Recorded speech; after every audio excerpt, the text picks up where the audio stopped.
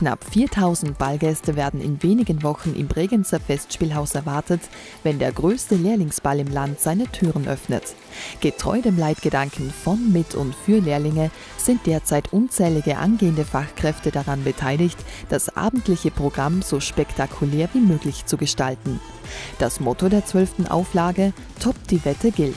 Und bereits bei den Vorbereitungen wird klar, jede Gruppe zeigt auf eine spannende Art, was in ihnen steckt.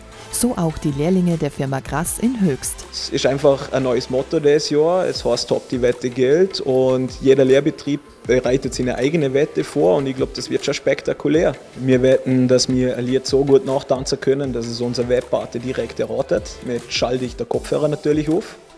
Und ich bin eigentlich nur dazu da, um das Ganze zu organisieren. Also ich schaue dazu, dass die Lehrlinge bei Laune bleiben, ich coach sehr kleine beim Tanzen. Es war am Anfang sehr kompliziert, weil ein Thema zu finden, wo alle Leute mitmachen können, wo die anderen Leute verstehen, war schon ziemlich kompliziert, aber dennoch haben wir es geschafft als Team.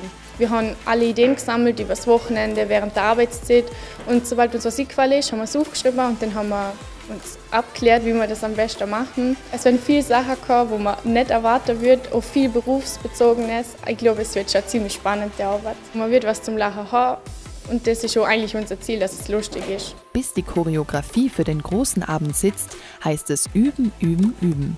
Auch die Lehrlinge der Firma Blum stecken mitten in den Vorbereitungen für ihren großen Auftritt. Ausbilder Lars Springetti ist der Ansicht, das diesjährige Ballmotto passt gut zur Arbeitsmoral der Firma selbst.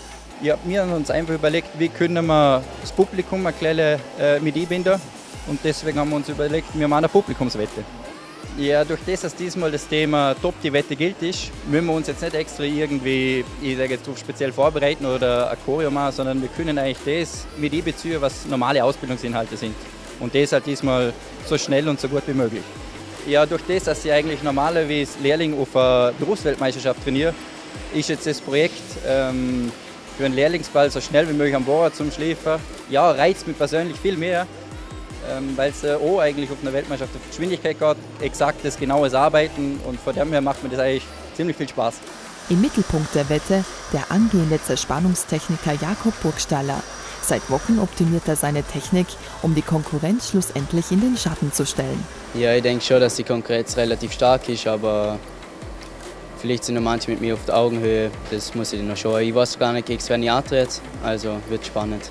Wie sich die Lehrlinge im Rennen schlagen, zeigt sich am 30. November. Mehr Informationen zum Programm und zu den Tickets gibt es auf www.derlehrlingsball.at.